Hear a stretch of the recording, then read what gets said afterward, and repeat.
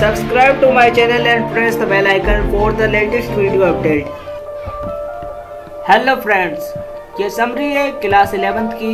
इस समरी का नाम है अ फोटोग्राफ जो कि हॉर्नविल बुक से ली गई है। इस समरी के ऑथर है सिडली टॉल्सन इस पोएम की स्टार्टिंग में हमारे ऑथर एक फ़ोटो की तरफ़ देख रहे होते हैं। वो फ़ोटो में देखते उनकी मदर और उनकी दो कज़न, एक बेटी और एक डोली थी।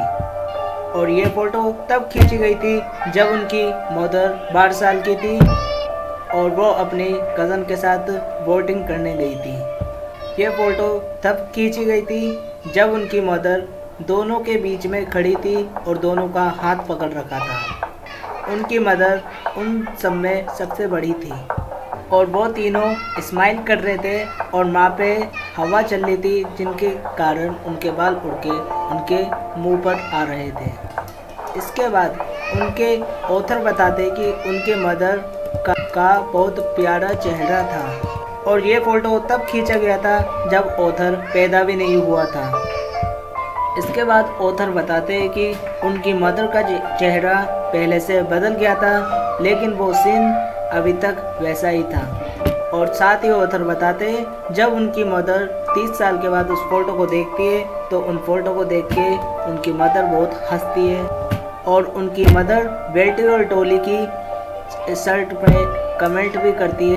ऑथर हमें बताते हैं कि उनकी बिताई हुई छुट्टियाँ थी।